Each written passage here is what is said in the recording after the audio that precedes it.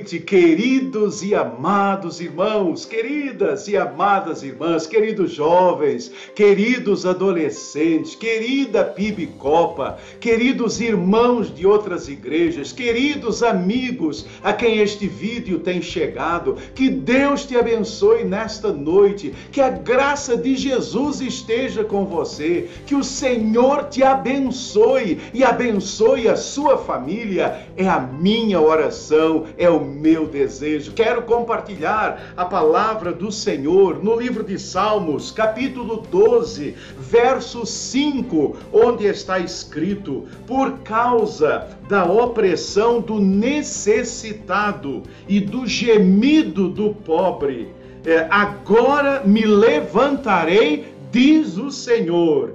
E olha o que o Senhor diz, querido: eu lhes darei a segurança que tanto anseiam.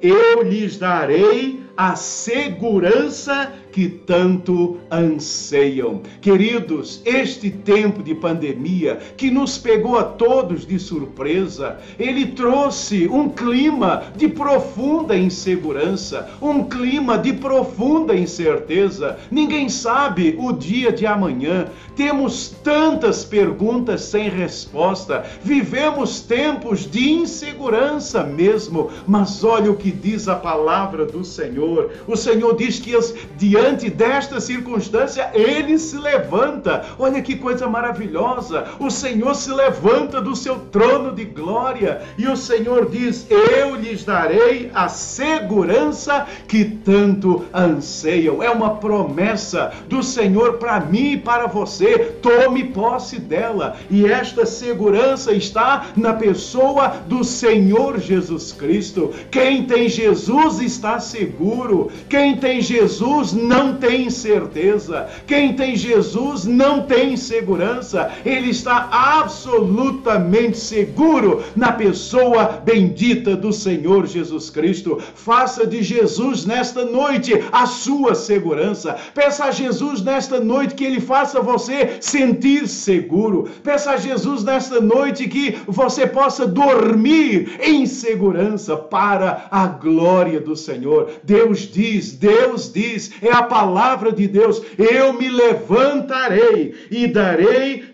a segurança que tanto anseiam. Querido, querida, a segurança não está na política, não está na economia, não está no seu chefe, não está no seu superintendente ou diretor, a sua segurança não está no governo, a sua segurança não está no seu cargo, a sua segurança não está no seu emprego, a sua segurança está no Senhor, aleluia! Louvado seja o nome do Senhor. E queridos e amados irmãos, tudo que eu falei anteriormente passa, mas o Senhor não passará e o céu não está em crise. Então, nesta manhã, que a segurança do Senhor esteja com você. Amém? Daqui a pouco, 20 e 20, vamos orar, vamos clamar, vamos pedir ao Senhor um derramar do seu Santo Espírito sobre as nossas vidas, que avive, que nos encha. Vamos pedir ao Senhor um batismo de amor profundo pelos perdidos ao nosso redor, um batismo de amor que nos leve a sentir compaixão, misericórdia por aqueles que ainda não conhecem o Senhor e por isso não têm esta segurança.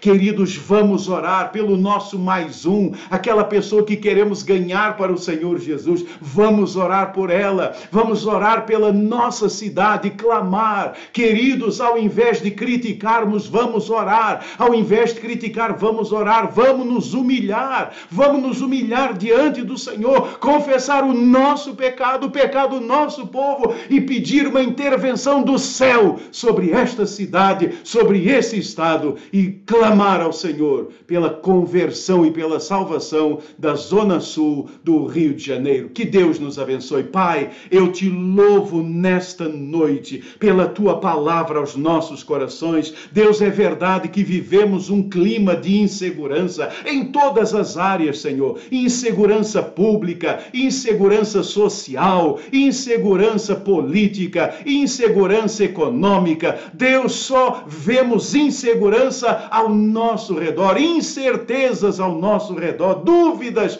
perguntas sem resposta, mas a tua palavra nessa noite ela é maravilhosa. O Senhor se levanta e o Senhor nos faz estar seguros. O Senhor nos dá segurança do céu para as nossas almas. Deus, se alguém está inseguro, se alguém está cheio de incerteza, que possa entregar sua vida a Jesus e encontrar em Jesus, ó oh Deus, essa segurança para a alma, essa segurança bendita que nos faz viver em paz, em tranquilidade. Oh Deus, com o Senhor, conosco mesmo e com todos ao nosso redor. Nos abençoe, nos dê um fim de dia abençoado, uma noite tranquila, em nome de Jesus, por quem eu oro. Amém e amém e amém. Louvado seja o nome do Senhor. Eu lhes darei a segurança que tanto anseiam. Que o Senhor te abençoe rica e abundantemente.